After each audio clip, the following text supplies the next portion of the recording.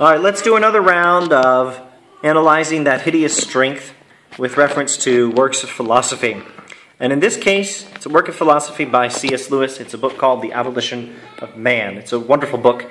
It is uh, good to read it parallel to Alasdair MacIntyre's After Virtue. And uh, proper exposition of the abolition of man takes some time. You could consult the cartoon version on this channel, though I confess it is an aesthetic atrocity, and I should probably remake it at some point. Now, um, The Abolition of Man is a wonderful piece of moral philosophy in which Lewis defends the Tao. The Tao is a word he borrows from Confucius, but he means by it something more general than what Confucius meant. The Tao is simply the doctrine of objective value, the doctrine that there are some moral truths, and that they simply are true. Uh, they're fundamental or foundational. They are to moral reasoning what the law of non contradiction is to all reasoning. You reason in light of these principles. You don't reason to them.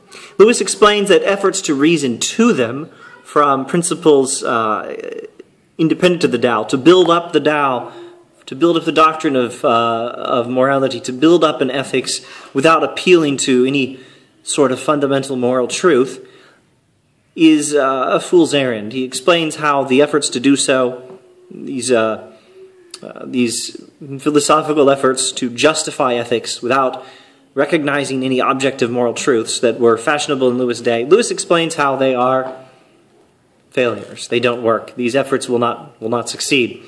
And he explains that this leaves us with only two alternatives to recognize the Tao or openly reject it, go the Nietzschean way, and uh, deny that there are any moral principles that we ought to follow, and simply do what we want to do because we want to do it.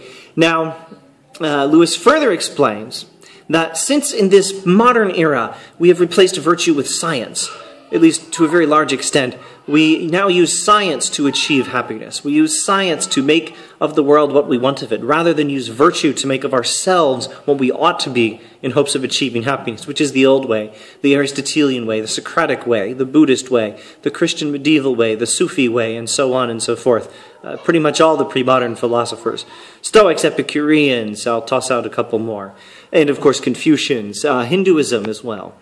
Uh, all the old books Lewis read from the pre modern world were like this. But in the modern world, we followed the way of Bacon and Descartes. Descartes also has some videos on this channel where he presents this, uh, this new ethics. In the modern world, we have taken this route of Descartes and Bacon where we use science to make of the world what we want of it. And that's how we attempt to achieve happiness. Now, Lewis uh, hypothesizes that there will come a time when science has sufficient power to get what it wants. And using it to achieve happiness, and according to this hypothesis at least, rejecting the, Nietzsche, uh, rejecting the Tao and following the Nietzschean way, it is inevitable that there will be a point or a short time when a very few people who have control over the, uh, the relevant technological tools will reshape human beings, will recreate human nature according to their own whims. According to the hypothesis, they will not be doing it according uh, to any sort of standard uh, of what is good, because according to the hypothesis, they've already taken the Nietzschean way and rejected that standard. And so they will reshape human nature according to their own whims. It's a terrifying prospect, given a beautiful depiction in many science fiction stories. Speaking of which, I recommend a book, Science Fiction and the Abolition of Man. Subtitle Finding C.S. Lewis in Sci Fi Film and Television. I'm one of the editors of the book alongside my buddy Kevin Neece.